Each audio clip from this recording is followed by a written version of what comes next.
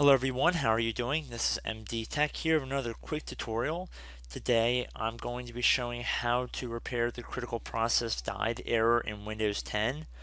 So a critical process died error basically means exactly what it sounds like.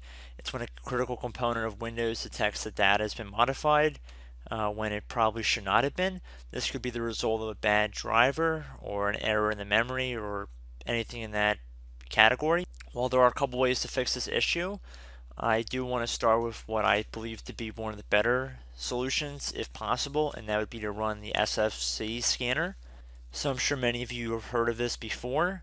Basically what it does is that it helps repair system files if they are corrupted, and it'll help replace system files if they are damaged or corrupted. So in order to launch the SFC scanner, what we want to do is head over to our search, type in command prompt.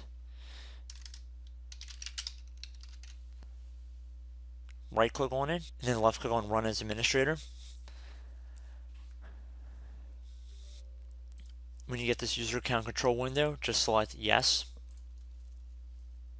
Now what you want to type in is sfc forward slash scan now.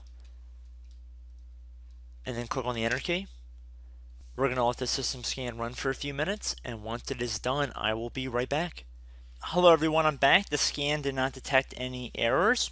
However, I'm not experiencing this issue on this particular computer. I will make a follow-up video regarding other solutions. However, I did want to make this one video regarding this one tip. There are other methods that I want to explore, but hopefully the SFC scan now works for you in this video. Um, like I said before, I do plan on making some follow-up videos with more avenues to explore. So I hope this tutorial helped you guys out, and I will see you in the next video. Goodbye.